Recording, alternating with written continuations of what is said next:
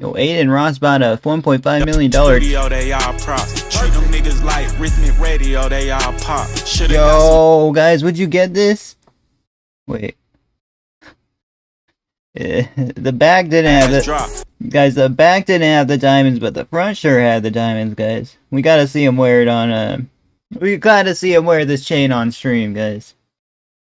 Omg. Sorry, but why though?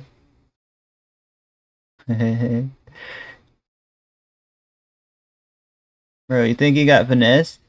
Uh, I think they added a.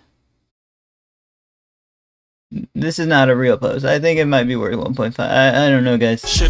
But yeah, no, no, uh, nothing on the backside though. No diamonds.